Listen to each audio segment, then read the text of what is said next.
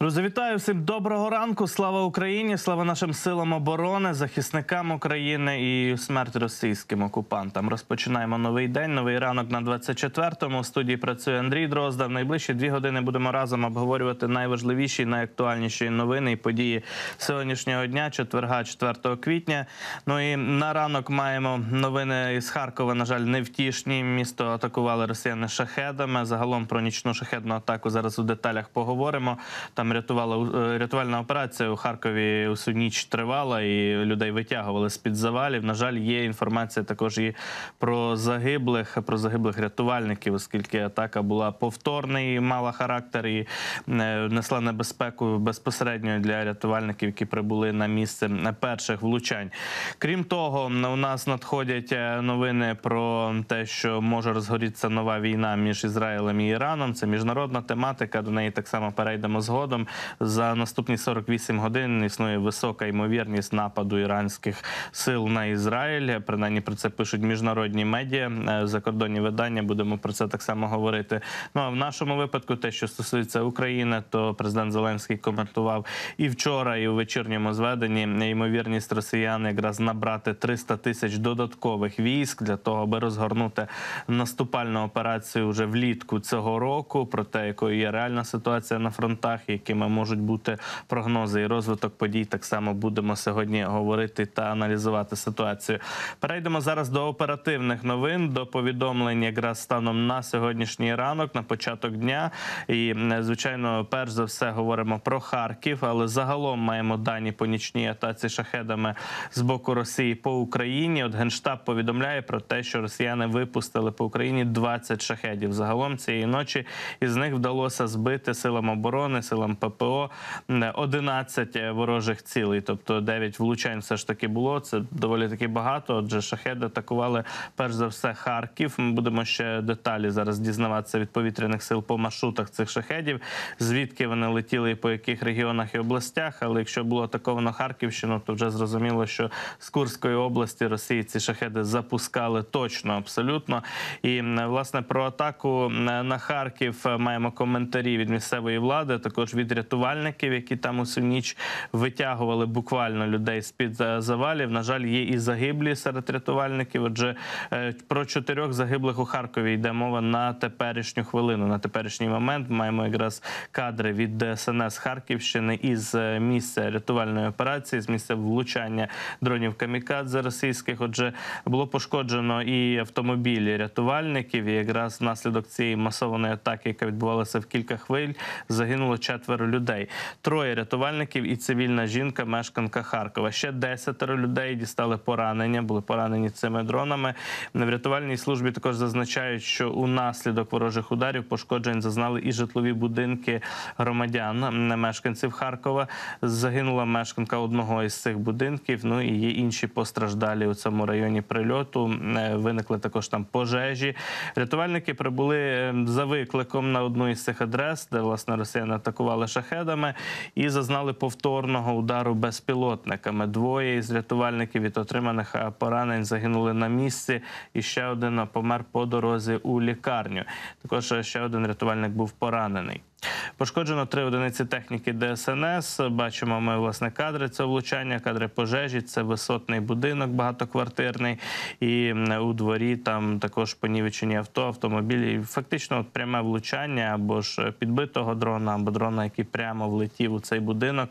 Ми спостерігаємо наслідки цього влучання на кадрах із Харкова. Поруч також зруйновані інші будівлі. Це машина рятувальників, яка теж постраждала від цього удару. Ну таке враження, що прямо цей дрон летів або дуже близько від цього авто, або мало не в цю машину. Е, саме тому і е, загинули рятувальники. Повністю обгоріла кабіна цього авто, і е, бачимо, що ну нібито важко сказати, чи цілеспрямовано, бо шахеди не мають камер на собі, не мають е, механізмів наведення на певні цілі. Ну але так сталося, власне, що ці шахеди влучили прямо таки у машини рятувальників і загинув е, ну майже весь екіпаж. Фактично одного із авто. Троє рятувальників загинуло. На превеликий жаль. Зараз це героїчна робота, насправді дуже ризикована і складна в умовах якраз існування і життя наших прифронтових міст. Харків можна таким назвати. Харків атакують е, чи не щодня росіяни. І от маємо, на жаль, такі тяжкі наслідки із цієї ночі. Ще буде оновлюватися інформація по Харкову. Ми обов'язково до цієї теми повернемося. Чекаємо на включення також нашої колеги Анни Черненко із Харкова. Ніч була складна, але Аня обіцяла якраз розказати найновіші, найновіші повідомлення, новини станом на цю хвилину із Харкова. Тим паче, що там є інші теми. Зокрема, у Харкові добудували підземну школу, де будуть навчатися 900 учнів, приблизно 900 учнів. І такий проект є пілотним, але не останнім. Будуть масштабувати таку практику у Харкові. Доводиться власне у безпечних таких приміщеннях проводити освітній процес. Фактично, під землею в укриттях е, будуть учні у Харкові навчатися. До цієї теми ще повернемося. Далі про Харківщину говоримо про місто Мерефа. Там так само було завдано вчора з вечора на вечір. Росіяни атакували Мерефу авіаційною ракетою. Внаслідок цієї авіаційної ракети повітряної так само є загиблі. Загинула 55-річна жінка, місцева мешканка. Ми бачимо якісь і складські приміщення, які очевидно росіяни намагалися атакувати. Але ця ракета зачепила житлові будинки, які поруч е, пошкоджені. От е, зазнали е, ушкоджень. Також бачимо і приватні садиби, і також будівлі цивільного підприємства, як повідомляє Харківська прокуратура, прокуратура Харківщини. Отже, е, бачимо, що ціллю ймовірно е, цього удару росіян були саме такі більші складські приміщення одного із підприємств, яке там розташовано в Мерефі, але е, повибивало вікна у будинках, пошкоджено дахи. Ну і також, на жаль, загинула місцева мешканка. Росіяни вбили ще одну цивільну жінку на Харківщині своєю ракетою. Мерефа розташована поруч із Харковом на південь від обласного центру. І в цьому випадку під час удару по Мерефі було застосовано з боку ворога протикорабельну ракету Х-59. Такі ракети іноді збивають, доволі часто збивають наші сили оборони, е, наші протиповітряні власне війська. Так і е, в цьому випадку ракету не вдалося збити. Е, Запуск власне відбувся по місту, яке розташовано біля Харкова. І на жаль, є тяжкі наслідки цього удару. Ну тим часом про події на Росії трохи розкажемо. Там так само дрони літали над Росією, і були вчора ефектні, що називається пожежі. У Ростові, наприклад, загорівся ангар зернового терміналу, що не часто трапляється останнім часом, так на Росії. Але місцеві мешканці, мешканки і мешканці якраз Ростова повідомляли і про декілька вибухів е, на місці цього ангару. Відбувалася якась дивна детонація. От е, якраз ми можемо спостерігати цю потужну пожежу, помітну пожежу у Ростові.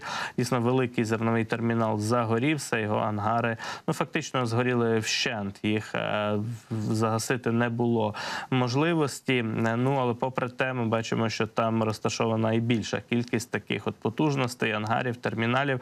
Звідти з Ростова, очевидно, вивозили, експортували також і крадене українське зерно із півдня України.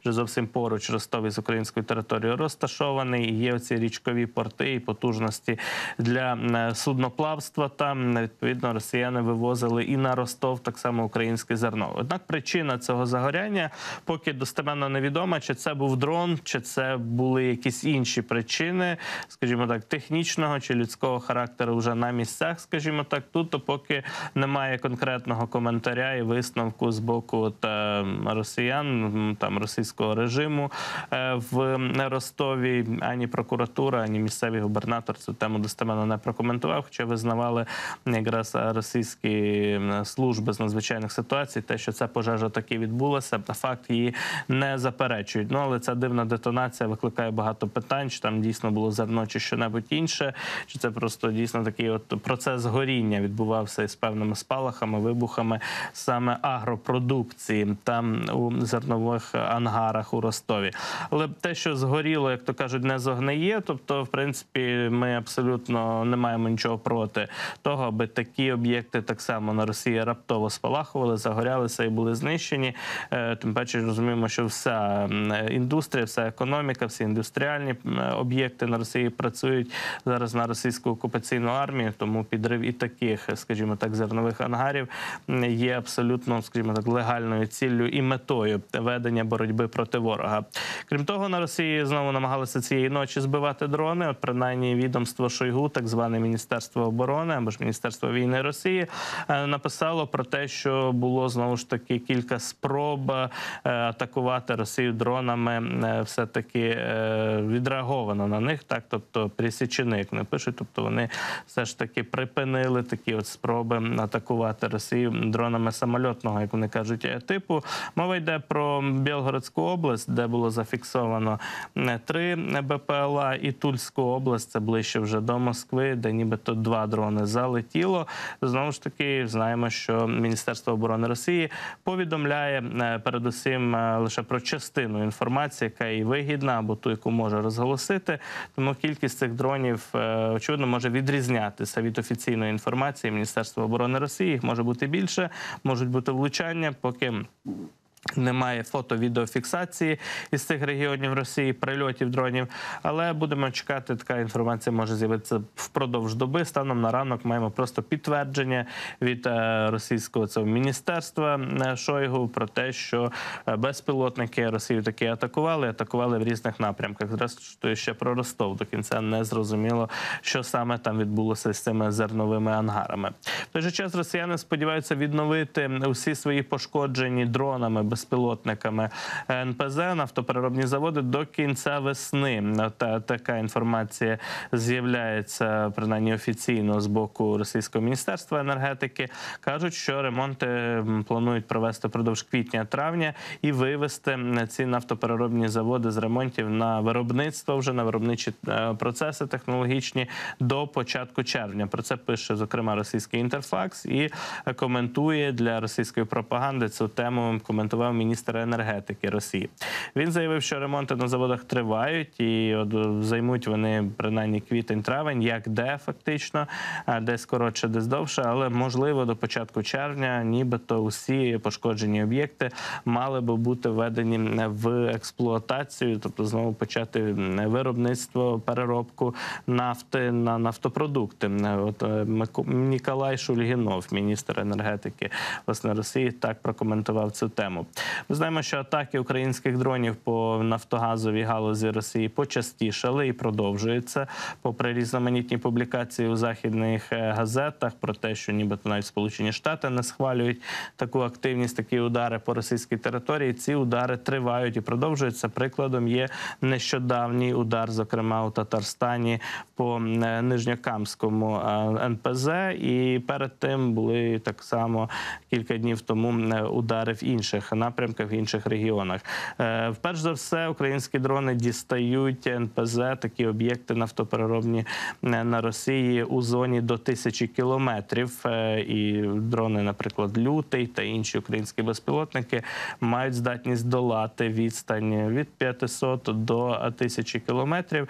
Тому вже більше як півтора десятка російських НПЗ зазнали ударів у різних російських регіонах на різних напрямках від Санкт-Петербурга аж до Краснодарського. Кримського краю до Сочі, до півдня Росії. Найдалі українські дрони залітали, зокрема до Нижнього Новгорода, Рязані, тобто на сотні кілометрів у глиб Росії.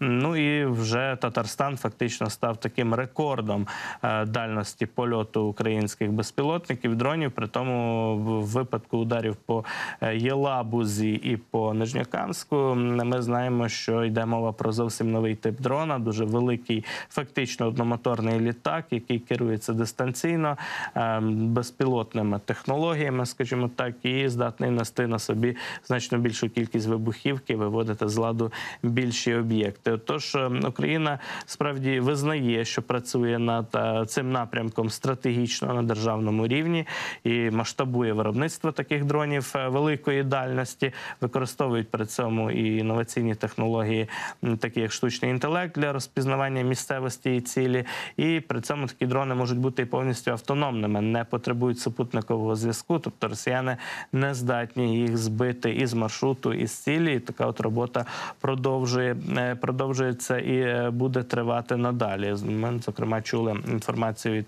міністра цифрової трансформації Федорова, віце-прем'єра водночас України Михайла Федорова, про те, що е, дрони ці будуть у більшій кількості з'являтися і можуть вони вже долати відстань понад тисячу кілометрів. А як показує практика і і понад 1200 і більше, і більше. Тобто ці дрони по прямій не летять до Татарстану, до тієї ж Єлабуги, лише по прямій від української території 1200 кілометрів. Очевидно, що цей дрон летів е, за іншою траєкторією, скажімо так, оминаючи рубежі і вузли російської системи протиповітряної оборони. Отож, ймовірно, що, що українські безпілотники можуть долати і пів- півтори тисячі кілометрів, і е, значно більше. Отже. Тим часом росіяни готуються до е, посилення атак на фронті. І ми чули повідомлення від українського президента від влади про те, що е, росіяни нарощують кількість своїх резервів і збираються провести мобілізацію в Кремлі до літа, аби зібрати 300 тисячну армію, яка буде розгортати наступальну операцію влітку цього року. Про це поговоримо в деталях трохи згодом. І про західну аналітику і реакції на цю інформацію будемо говорити. А зараз повернемося до Харкова. Е, Харків, як ми знаємо, цієї ночі атаковано було шахедами. Жорстока атака, злочинна атака з боку ворога. На жаль, є жертви і загинули, зокрема, і рятувальники, які прибули на місце події. Ну але також е, Харків продовжує е, жити, протистояти ворогу і навіть розвивати, зокрема, освітню галузь, стратегічно важливі галузі для міста. Про будівництво і підземної школи зараз поговоримо, і також про цю нічну атаку, яка на Харків відбулася. Далі спілкуємося про це із Анною Черненко, кореспонденткою з Харкова. Аня з нами на зв'язку. Аню, вітаю тебе. Я вже бачу, що ти на місці події цієї нічної нічної атаки шахедами. Розкажи, будь ласка, що відбувається, якими є наслідки цієї атаки?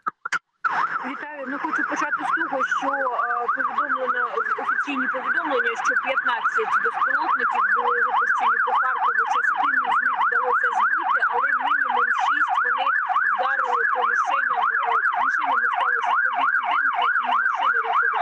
Аню, зараз, зараз дуже складно щось почути через сирену. Якщо зараз мож, можливо або змінити місце, або почекати, поки сирена перестане працювати, то ми відновимо спілкування.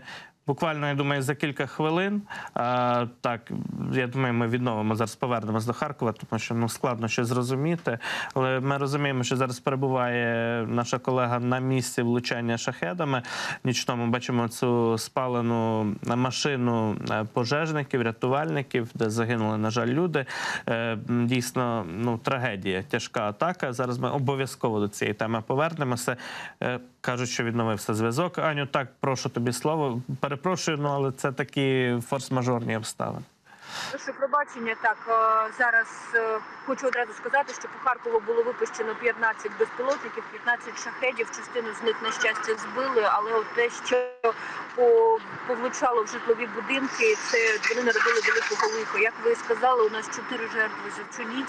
Троє е, бійців ДСНС загинули. Вони знаходилися в машинах і просто страшна трагедія і щирі співчуття людям, які загинули сьогодні. Жінка, яка загинула, їй 69 років. Вона знаходилася у себе в квартирі. А з того, що зараз відомо, вже е, бійці ДСНС, незважаючи на от таку небезпеку, вони продовжили працювати. Ми щойно спілкувалися з речником управління ДСНС. Він наголосив, що е, от попри все, вже після того, знаючи, що загинули їхні колеги, ДСНСники вони знову заходили в цю зруйновану триповерхівку і врятували з під завалів з під чоловіка. Він зараз в лікарні. Допомагають медики. Хочу також сказати, що от це не, не одна тільки мішень, якою е, по якій росіяни завдали удари. Це просто звичайна багатоквартирна триповерхова будівля, в якій жили люди. Окрім того, є ще одне влучання в 14-поверхівку. От саме там загинула жінка. В верхні поверхи влучив е, безпілотник, і дуже кілька квартир на кількох поверхів були зруйновані. А, окрім того, ми маємо станом на зараз вже 12 поранених.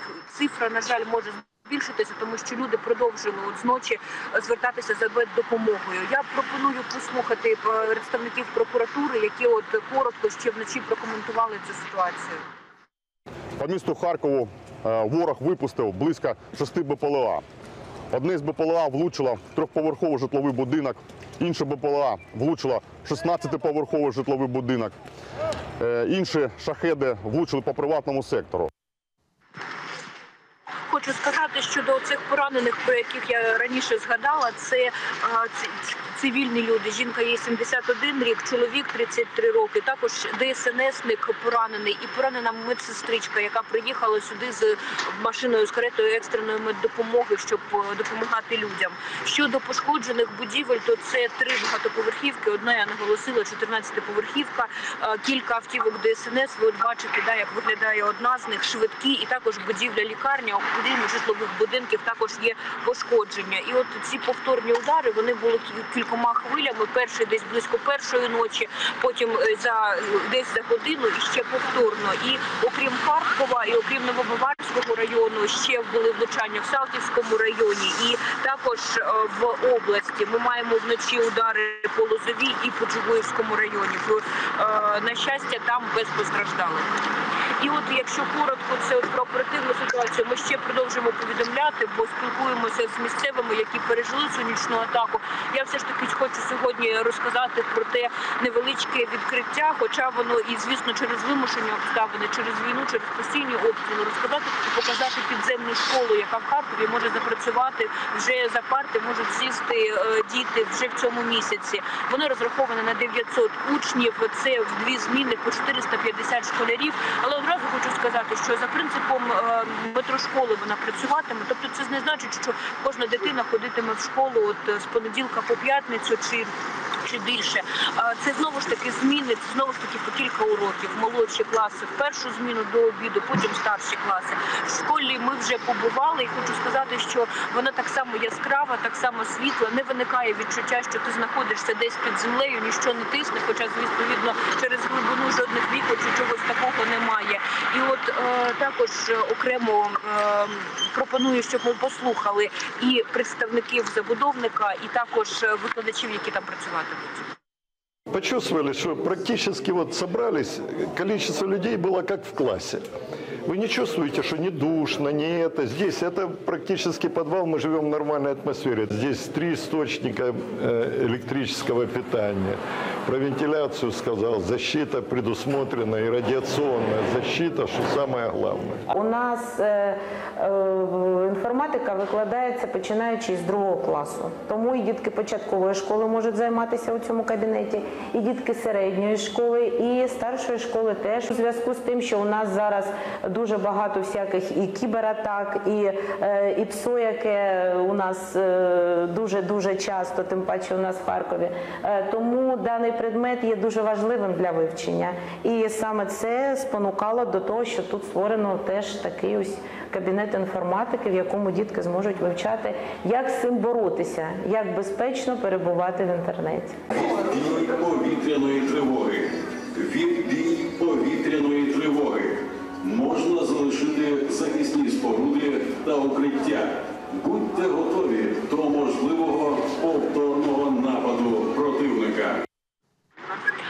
власне такі звуки, такі оголошення, окрім дзвінків, будуть чути діти в цій першій в українській, першій харківській підземній школі.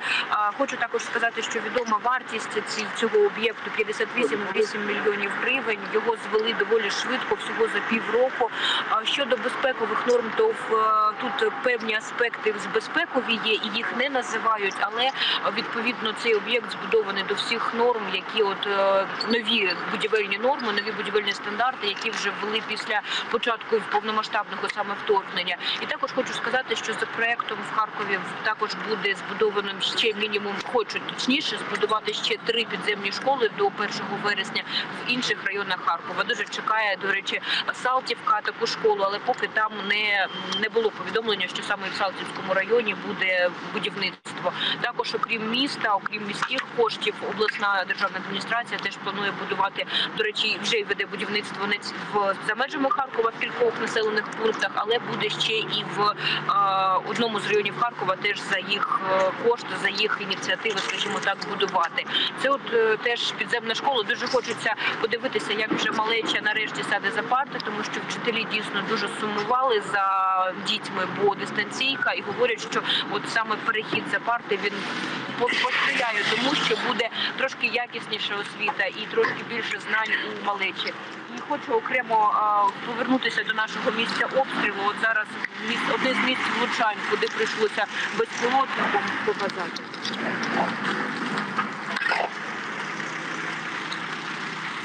Це коротко на цю годину ві- відомості про нашу жахливу ніч. Ще раз співчуття загиблим сім'ям загиблих людей, бійцям ДСНС. Просто вони наші герої. Аню, дякую тобі за цей за це включення, за цю розповідь. Е, Дійсно, я розумію, що дуже складно було сьогодні, от буквально зранку, розповідати про ці події трагічні цієї ночі. Але важливо всій країні, всім нам бачити, чути і розуміти, що відбувається в Харкові. Ми всі разом з Харковом, серцями, думками, нашими вчинками, підтримка наша кожного українця. Я думаю, зараз на боці міста Харкова, на боці кожного харків'янина. Тримаємося разом і будемо протистояти ворогу аж до перемоги.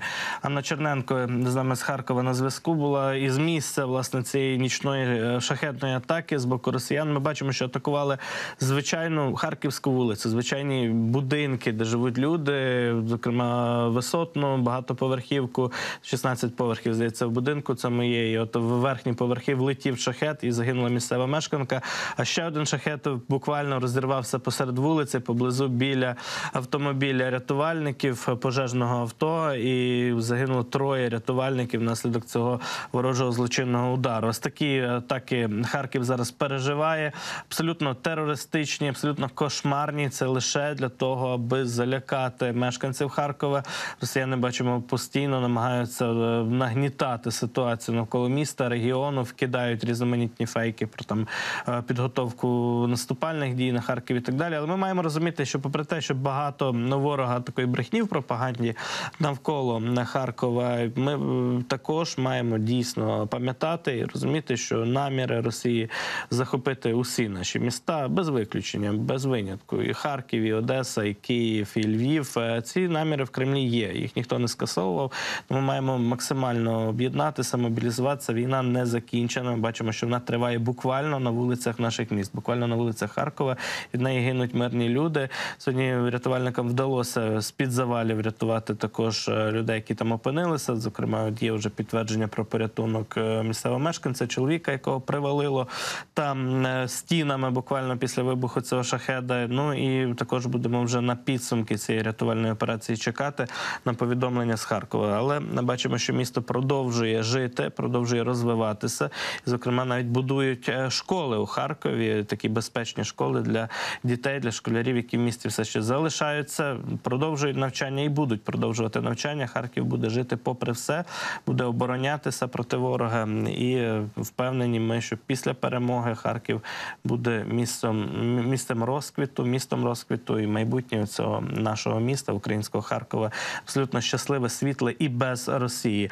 Ну і також нагадаю, друзі, що ми можемо допомогти нашим прикордонникам, які, зокрема, і Харківщину боронять на фронті, на Куп'янському напрямку, і також е, на кордоні державному, який фактично є зараз лінією фронту.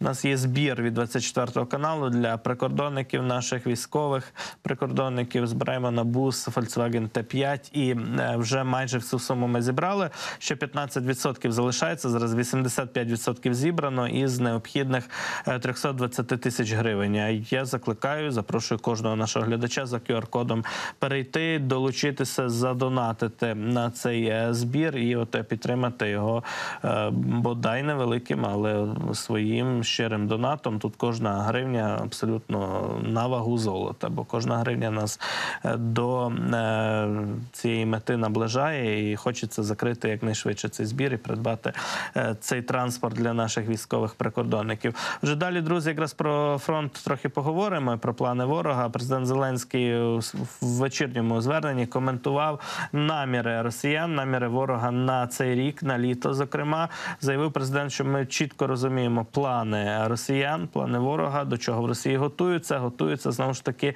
е, згрібати на вулицях е, мобілізованих, так в, в армію, в нову армію, е, створення якої вже раніше анонсував Шойгу. І йде мова про 300 тисяч е, додатково мобілізованих окупантів, яких е, збираються кинути в бій приблизно на літній період часу. Принаймні про це вже відкрито говорить і наше військове командування, і політичне керівництво. Послухаємо якраз фрагмент зі звернення президента. Поступово плануємо і нашу роботу з партнерами на найближчі місяці. І травень, і червень мають стати часом активності заради України, заради того, щоб досягти наших завдань у цій війні. Чітко розуміємо, до чого готуються в Росії, що вони хочуть, під що збиратимуть солдатів в свою армію. І у нас, і у нас всіх, у наших партнерів, має бути сильна відповідь на російські операції, будь-які російські операції. Ми маємо перемогти у цій війні. Це історичний шанс України зламати російський реваншизм. І ми маємо цим шансом скористатися заради надійної безпеки для наших дітей. Сьогодні ж була тривала і детальна доповідь головкома Олександра Сирського. Наші дії на ключових напрямках, захист наших позицій, зміцнення наших позицій, тиск наш на російські позиції, ключові наші плани оборонних та активних дій на найближчий час. Е, Попри те, що зимовий осінній зимовий російський наступ не досяг заявлених цілей, росіяни продовжують штурмувати, продовжують атакувати. І про збільшення кількості і масштабів цих е, механізованих наземних штурмів пишуть також і. Західні аналітики, зокрема інститут вивчення війни, в своєму новому звіті якраз фіксує збільшення цих масштабів наступальних дій з боку ворога на деяких ділянках фронту. От зараз ми зараз бачимо якраз відбиття одного такого механізованого штурму ворога в районі Лиману, в районі Тернів. І тут росіяни прямо пруть танками, бронетехнікою, е, полями в бік Тернів. Е, Це Лиманський напрямок, бік річки Чорний Жеребець, де вони намагаються вийти, і втрачають цю цю техніку. Це буквально події останніх днів. І таких е, штурмів подібного характеру ми бачили чимало і біля тоненького, біля Новомихайлівки за останні дні. Всюди результат той самий. Ворог втрачає е, всю свою бронегрупу. Цю фактично підбитими танками. Ну окремі машини тікають, але більшість здається підбити і знищити. І втрачають також екіпажі, і, там піхотні, десантні групи, які перевозяться на цій бронетехніці, танкові екіпажі тощо. От бачимо, що потрапили під щільний артилерійський вогонь росіяни біля тернів, просто в чистому полі. Абсолютно їх було помітно і здалеку. І е, такі події трапляються кожного кожного божого дня, що називається. Е, з боку росіян, з боку їхньої пропаганди, бачимо, ніхто з цього трагедії не робить. Тобто, це пам'ятаємо, наприклад, епізод з кількома леопардами підроботаним, який російська пропаганда колись влітку роздмухала, рознесла, що ось українці втратили там кілька танків е, на роботинському плацдармі. Так під час прориву, під час контрнаступу. Так у росіян е, такі події відбуваються в багатократно більшому вимірі кожного дня. Тобто, це розгроми цілих е, бронеколон, цілих бронегруп, і знову ж наступного дня нові бронеколони, нові бронегрупи збираються, йдуть на такий прорив. На наші військові все це відбивають. Про збільшення нарощення от таких от штурмів механізованих наземних якраз пишуть і аналітики е, АСВ інституту вивчення війни. Вони кажуть, що за останні два тижні російські війська схоже значно збільшили кількість і масштаби своїх наземних штурмів на деяких ділянках фронту в Україні. Е, При тому. Інтенсифікація таких е, механізованих штурмів з боку ворога відбувається, як правило, одночасно з посиленням ракетних ударів і ударів безпілотниками по українських енергетичних об'єктах. Тобто, що це пов'язані речі. Очевидно, що стратегія ворога полягає і в тому, аби знищити українську енергетику, і аби нарощувати якраз е, тиск на фронті, аби з усіх боків, скажімо так, було е, складно. Ситуація була складна. Абсолютно темп цих. Е, наступальних операцій наразі збільшується. Скільки росіяни зможуть їх підтримувати, складно сказати. Вони ці події не можуть мати безперервного характеру, але відбуваються хвилями. Тобто росіяни накопичують значну кількість резервів і техніки, і от починають інтенсивно штурмувати. Це може тривати кілька тижнів. Потім знову е, певна пауза наступає. На зв'язку з цим експерти припускають, що війська РФ можуть посилювати і далі удари з метою подальшого тиску на українське командування для розгортання систем протиповітряної оборони за межами фронту, аби безпечніше себе почувати під час посилення операцій на фронті безпосередньо і посилювати там і авіаційні операції і з метою таких наземних е, проривів. Бо часто росіяни просто кабами закидають певну ділянку фронту, атакують ракетами, штурмовиками авіаційними, потім йдуть на прорив. Е, Ну, якщо ця операція спланована, скажімо так, згідно із підручниками, згідно з всіма вимогами е, військових е, стратегій, які практикує ворог. Е, Українські джерела продовжують наголошувати на тому, що фрагментарне запізніле надходження якраз нових західних систем ППО дозволяє російським військам адаптуватися до них і згладжувати ймовірні оперативні переваги, е, які ці системи могли би надати українським військам. От в іншому випадку, якщо б вони вчасно надходили. Зокрема, видання Політіко повідомило е, 3 квітня, що високопоставлені українські офіцери, очевидно, на рівні генералів, заявили, що нові західні системи надходять занадто пізно і в недостатній кількості в Україну, аби мати максимально ефективний оперативний вплив на полі бою. І в разі нового наступу росіян влітку існує великий ризик, що лінія фронту зруйнується. Тобто ППО абсолютно необхідні для того, аби і лінію фронту підтримувати, не лише для того, аби захищати наші міста. Про те, що е, нам потрібні патріоти, говорив прямо західній пресі і міністр Кулеба. Він заявив, що принаймні сім патріотів в Україні треба надати додатково. Ми до цієї теми ще перейдемо. Кулеба доволі от відверто і прямо і системно говорить про те, що ППО Україні треба посилювати, і каже, що він на кожній зустрічі буквально тему протиповітряної оборони буде піднімати тему патріотів, тему інших систем, які треба тут і зараз, і в більшій кількості кількості нашим містам. Ну на Харків погляньмо. Тут е, і зайвих доказів не треба. Просто розуміємо, що місто фактично беззахисне перед такими от нальотами шахедів і ударами С-300 і іншими ракетами авіаційними, які летять у бік Харкова. Ну і ще є Одеса, ще є Дніпро, які недавно атакували дуже е, росіяни жорстко, Кривий Ріг і так далі. І так далі. Цей список можна довго продовжувати. Попри це, от російські ці штурми механізовані, вони звичайно не залишаються без наслідків. Все це призводить, якби ми бачили, от щойно біля Лиману, біля Тернів, до значних втрат з боку ворога. Ну і статистика від генштабу щодня так само дуже промовиста. Ворог втрачає величезну кількість і бронетехніки, і живої сили, артилерії, і інших засобів. Е, І от е, ще маємо одне підтвердження з Башкирії, з Башкортостану. З'явилося свіже відео того, як ем, туди привозять е, на вантажівках.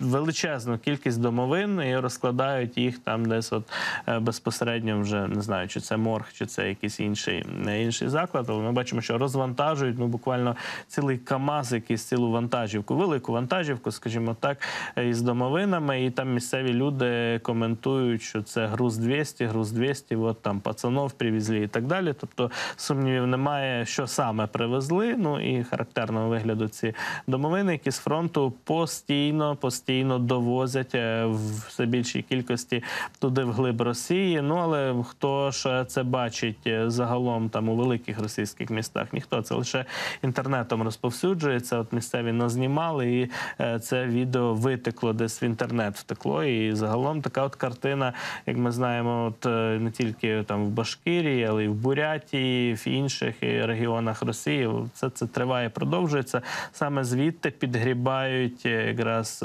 Е, м, Російське керівництво, так російський авторитарний режим підгрібає якомога більше мобілізаційного резерву. Ну бо там і спротив менший, і шуму буде менше. Ну от бачимо, власне кажучи, якісь напевно бурятські танкісти намагалися знов доїхати до села Терне і були розгромлені у полях якраз на межі Донеччини, Луганщини, е, повністю вщент в хлам розбита ця бронеколона. І от там таких от е, епізодів боїв за останні дні ми надивилися предостатньо. Ну тож е, якраз е, міністр Кулеба закликає захід надавати Україні патріотів як найбільшій кількості. Принаймні, захід може надати найближчим часом ще сім систем Петріот для України. Вважає наш міністр закордонних справ. Він переконаний, що захід передав Україні занадто мало систем ППО Петріот, оскільки має на озброєнні сотню таких комплексів. 100 таких комплексів. Про це Кулеба говорив в інтерв'ю Reuters. За словами нашого міністра закордонних справ, він має намір піднімати питання протиракетних комплексів Петріот на буквально кожній зустрічі з колегами, які відбудуться впродовж наступних двох днів у Брюсселі. Останніми тижнями Росія активізувала атаки на українські міста, на об'єкти енергетичної інфраструктури, що підкреслює нагальну потребу України у захисті. Партнери каже, Кулеба надали нам різні системи ППО, і ми вдячні за це, але цього просто недостатньо, враховуючи теперішні масштаби війни, інтенсивність обстрілів тощо. Тож Україні необхідно ще щонайменше від 5 до 7 систем Петріот найближчим часом, але партнери поки не бажають ними ділитися, хоча мають в арсеналі велику кількість, буквально до сотні таких комплексів, заявив Кулеба. Хіба це така велика проблема, каже наш міністр? Невже неможливо задовільнити мінімальний запит України і переконаний, що бракує лише політичної волі, аби прийняти таке рішення? Адже до питання і захисту неба і до нашої взаємодії з НАТО, зокрема, е, будемо повертатися в наступну ефірну годину. У нас є новини і про нового генсека НАТО, або хто може ним стати, і про е, зрушення скажімо так, інтеграції України до альянсу, а також про контакти е, Франції із Шойгу. Міністр оборони Франції провів першу за півтори роки розмову із Шойгу. Про що говорили? Так само про цю тему будемо спілкуватися більше якраз про міжнародний вимір, скажімо так, політики навколо війни Росії проти України. Далі, а зараз е, маємо перерву у нашому мовленні. Попереду загальнонаціональна хвилина мовчання. Всі разом вшановуємо пам'ять наших полеглих героїв та героїнь на цій війні.